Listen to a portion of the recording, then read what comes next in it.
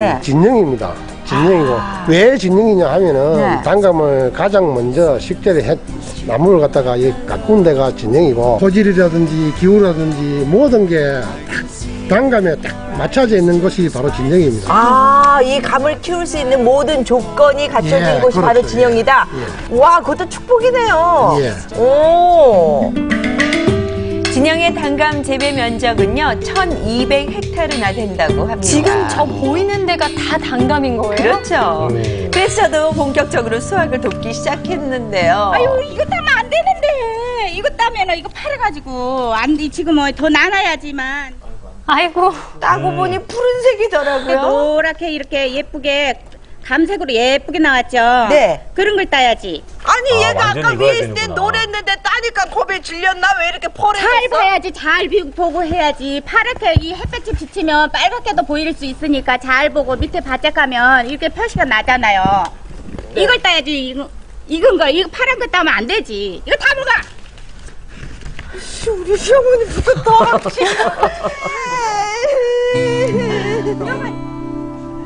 수확을 하다 보니 모양이 다른 감도 있었는데 말이죠. 감의 또 다른 대표 품종 중에 하나인 대봉감입니다. 모양새도 틀리고 빛깔도 틀리네요. 우측에 있는 거는 단감, 떫은 감을 저 홍시로 만들어 먹는 대봉감이라는 겁니다. 아, 일조량이 풍부한 진영에서는 대봉감도 잘 자라는데요. 적어도 한 달간은 숙성시켜야 떫은 맛이 사라져 먹을 수 있다고 하는군요. 대부분 오랜 세월 단감 농사를 지어왔다는 진영의 어르신들. 그만큼 이곳의 감나무에는 어르신들의 삶의 이야기가 담겨져 있습니다. 어머님 감 몇 년 따셨어요? 한 30년 땄어요.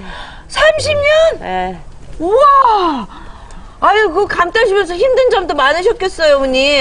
옛날에 애 빼갖고 임신해서? 6개월 만에 네. 감나무에 한번 툭 딱 떨어졌어. 어, 이거 어떡해요. 임신 6개월에 감 따러. 그런 소리 하면 안 되는데. 그래서 어떻게 됐어요?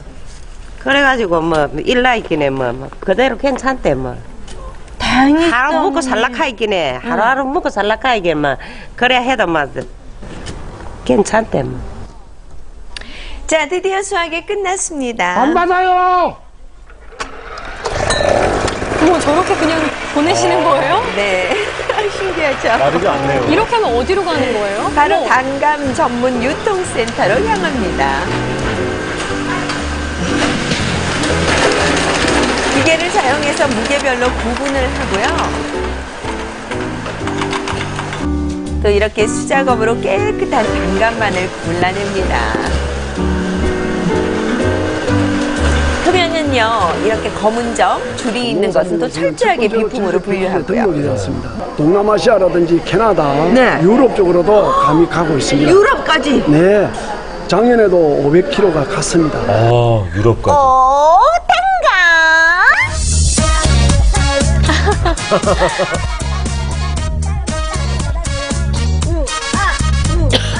단감 처음 맛본 순간 건강할 수 있었지. 피부에도 좋고 감기에도 좋고 변비에도 좋고 다 좋아. 그냥 단감. 그냥 단감. 어, 예. 맛있어. 고생 많이 하셨네요. 우예야, 어머니. 그거 하나 딱딱 못 맞죠, 어머니? 그럼 어떡해? 그래서 진영 단감 맛있어. 어, 저 유연한 동작이 나오네요. 이렇게 해야죠, 어머니. 자, 이렇게 한바탕 춤추고 나니 허기가 확 밀려오더라고요. 몸에 다 좋다는 단감 제대로 맛보러 갔죠? 배고파. 큰일 났네. 유정 씨 빨리 와 맛있는 게 해줄게 아니, 어머니, 아유, 안녕하세요. 아니, 여기 웬일이에요? 어 맛있는 게 해줄게! 아니, 뭐 하시는 거예요, 어머니? 감 털털이 네?